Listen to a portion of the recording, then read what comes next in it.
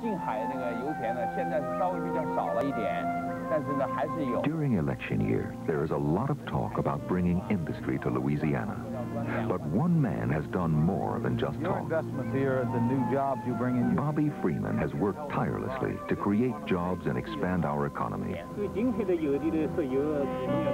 He is the most productive lieutenant governor in the history of our state. Bobby, when you want the job done.